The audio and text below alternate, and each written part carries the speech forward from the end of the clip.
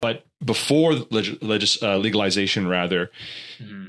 you know, people would claim, you know, it's harmless and and uh, nothing bad will come of it. But I guess now we see, you know, the the the effects because there is some data to show. As I said, this is surge in this uh, in these schizophrenia related cases, and especially considering the high potency I think that a lot of um, doctors point to that as being the issue. I mean, like the THC content in some of the stuff that you can buy nowadays approaches thirty percent in in just in just flower itself, and then not to not to mention the concentrates, which can get higher than that, which is very different from your grandpa's dope mm-hmm. uh, of like five 10% THC back in the day.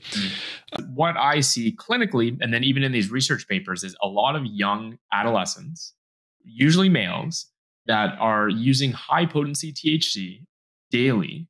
And then I see them in the emergency room because they're having persistent psychotic symptoms. You know, when you have an adolescent male, I think the age group was 16 to 18 or even 14 to 18, I'm forgetting the exact age range, that has a substance or cannabis induced psychosis.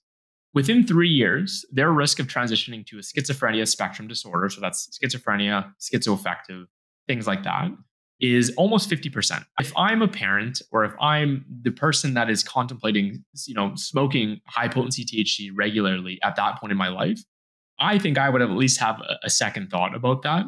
If that doesn't change someone's decision making, power to them. But I think it, it's just something people ought to be informed about uh, before doing that because schizophrenia is a lifelong disease with very, very poor outcomes for the majority of people.